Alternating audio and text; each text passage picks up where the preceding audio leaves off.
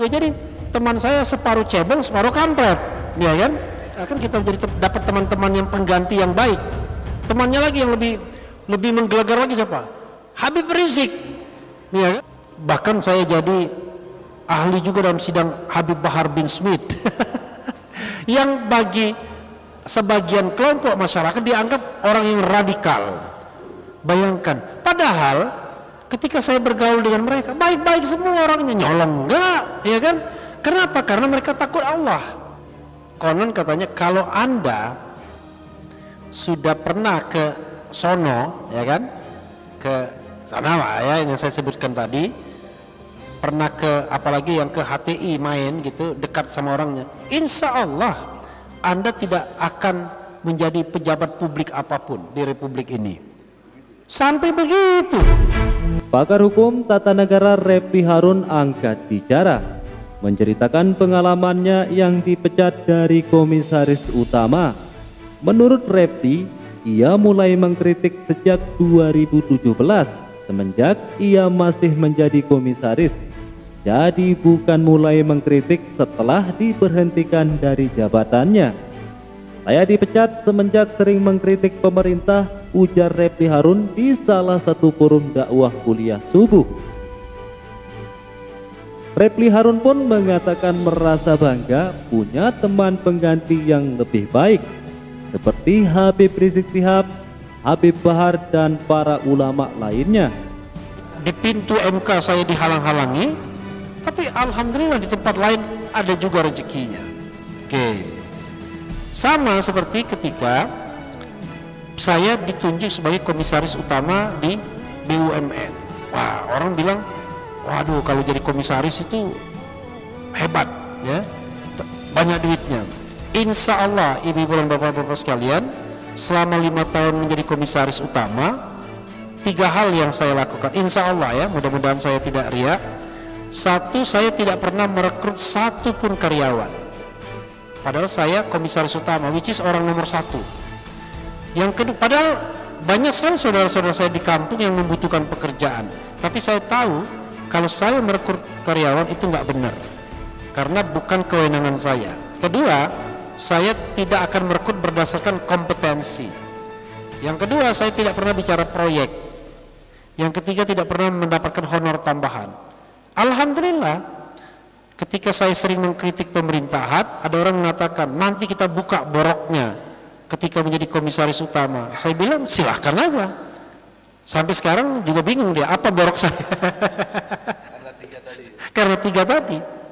Jadi aman saya nggak pusing saya. Nggak takut dengan KPK saya. Nah sebelum saya berhenti sebagai komisaris utama saya membuat YouTube. Jadi saya membuat YouTube itu 2019 sesungguhnya. Tapi tidak berjalan baik karena tidak saya handle sendiri.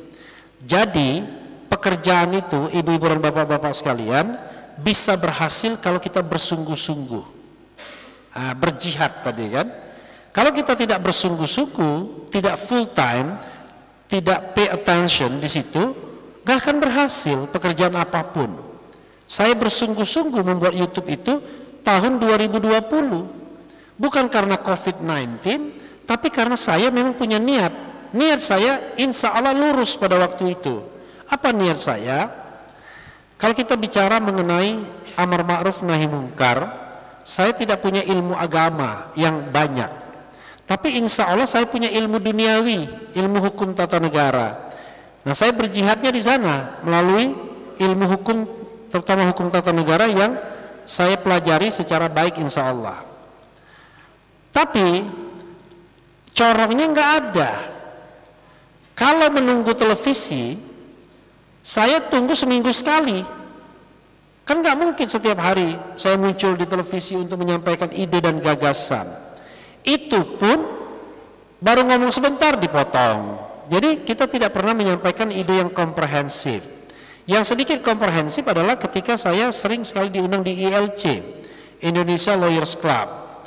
Ya, saya candain Indonesia Lawyers Club, Indonesia Liars Club saya bilang. Klub Indonesia pembohong. Liars ya, bukan lawyers. Nah, di Indonesia Lawyers Club saya dikenal tuh. sekarang sering sekali tampil di sana. Tetapi kan itu seminggu sekali.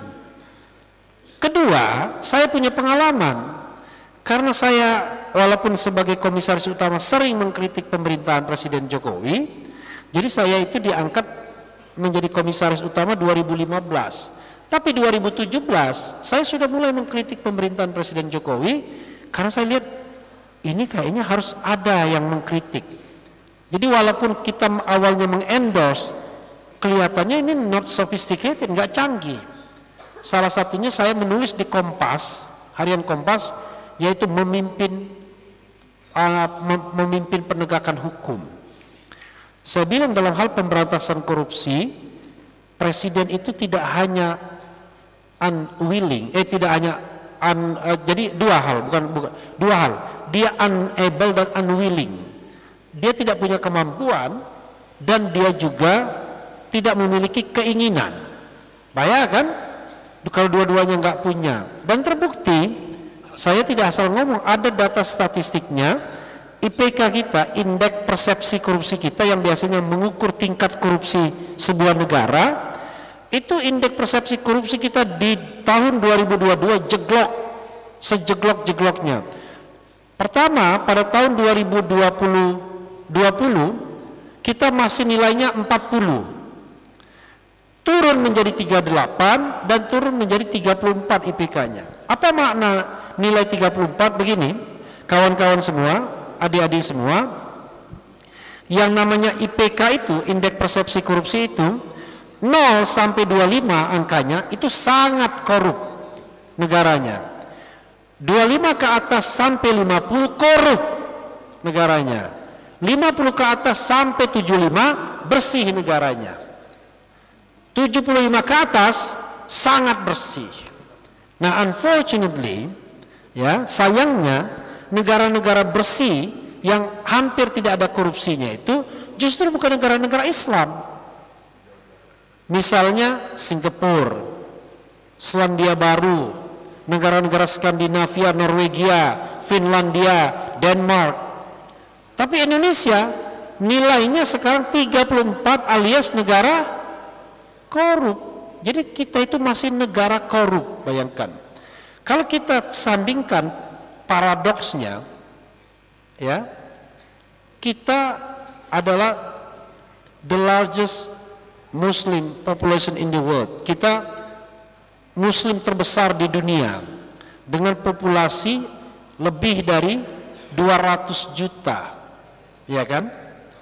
Tetapi di sisi lain kita termasuk salah satu negara yang masih korup. Begitu saya mengkritik pemerintahan, ya sebulan saya nge YouTube, alhamdulillah diberhentikan saya sebagai komisaris utama. Jadi saya hanya ingin membuktikan bukan karena saya diberhentikan sebagai komisaris utama saya mengkritik, tapi karena saya mengkritik maka saya diberhentikan sebagai komisaris utama. Jadi memang orang-orang sana suka memfitnah. Padahal track record record itu tercatat. Saya mengkritik pemerintah itu sudah sejak tahun 2017. Bahkan pernah di televisi saya masih jadi komut BUMN, saya berdebat disatukan di satu kubukan dengan Rocky Gerung dan dengan Babe Ridwan Saidi. Padahal saya masih komut BUMN. Lawan debat saya satu Ruhut Sitompul, dua Johan Budi yang sekarang partai pemerintah juga, satunya lagi Fajrul Rahman yang juru bicara presiden. Jadi saya masih menjadi komut BUMN sudah dikelompokkan dengan Rocky Gerung. Makanya kalau tadi yang saya kasih buku 200 tokoh itu waktu 50 tahun eh, peluncuran buku tersebut, saya masih menjadi komisaris BUMN 2020. Tapi yang ada di buku itu, cebong ada, kampret ada juga. Jadi di buku itu pejabat-pejabat pemerintahan memberikan testimoni, tapi ada Rocky Gerung juga, ada Said Didu juga, ada ustadz-ustadz juga, ada orang yang suka mengkritik pemerintahan juga. Jadi teman saya separuh cebong separuh kampret ya kan? Nah sekarang setelah nge YouTube ini wah mak makin kenceng kan saya mengkritik pemerintahan. Jadi setelah makin kenceng mengkritik pemerintahan temannya Egy Sujana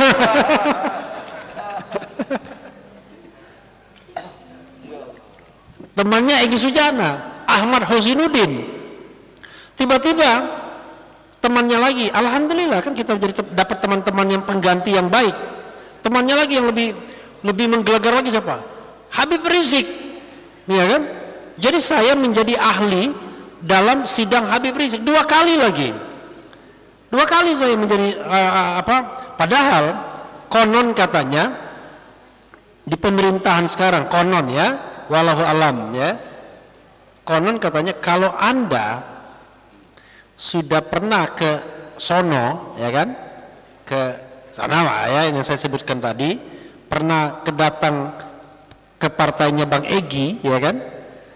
Pernah ke apalagi yang ke HTI main gitu dekat sama orangnya. Insya Allah anda tidak akan menjadi pejabat publik apa pun di republik ini. Sampai begitu bayangkan. Padahal ketika saya bergaul dengan mereka baik-baik semua orangnya nyolong enggak ya kan? Kenapa? Karena mereka takut Allah. Kan pengawasan yang paling luar biasa adalah kalau kita punya kesadaran diri sendiri ya kan?